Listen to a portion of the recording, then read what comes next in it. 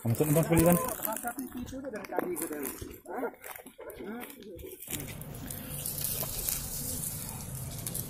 Bencana kebakaran melanda pantai barat dan selatan Aceh dalam beberapa hari terakhir.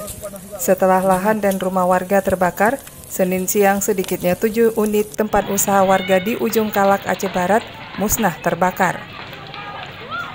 Rekaman video warga selama 22 detik ini memperlihatkan api yang marak dan membesar menghanguskan sedikitnya tujuh pintu kios warga di kawasan Ujung Kalak, Kecamatan Johan Pahlawan, Kabupaten Aceh Barat pada Senin siang. Bangunan kios dari kayu mempercepat kobaran api sehingga tak bisa diselamatkan.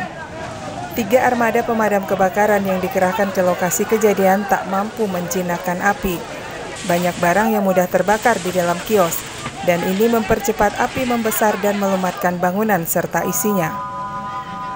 Petugas pemadaman dari BPBD Aceh Barat yang tiba di lokasi dengan tiga unit armada berusaha memadamkan api dengan cepat. Dibantu warga secara manual, 30 menit kemudian api berhasil dijinakan.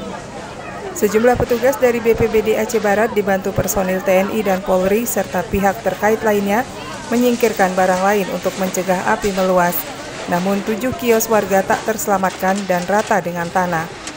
Kendati tujuh kios rata dengan tanah, tak ada korban jiwa dalam musibah tersebut. Kebakaran diduga berasal dari hubungan pendek arus listrik, seperti dilansir BPBD Aceh Barat. Kepala BPBD Aceh Barat Mukhtarudin mengungkapkan pihaknya mengerahkan armada maksimal untuk memadamkan api yang melahap tujuh ruko tersebut dan memastikan api padam secara keseluruhan. Jumlah ruko yang ukuran ukuran kita 8, tapi akan kita uh, kembali nanti detailnya berapa. Uh, nanti ada informasi dari uh, yang punya uh, yang korban ini. Meski tidak ada korban jiwa dalam peristiwa tersebut, petugas mengimbau kepada seluruh warga untuk memastikan mematikan nyala listrik jika tidak terpakai agar tak terjadi peristiwa serupa.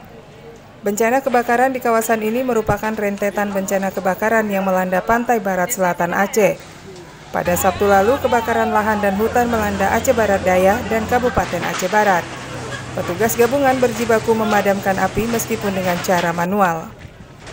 Aidil Firmansyah melaporkan dari Kabupaten Aceh Barat.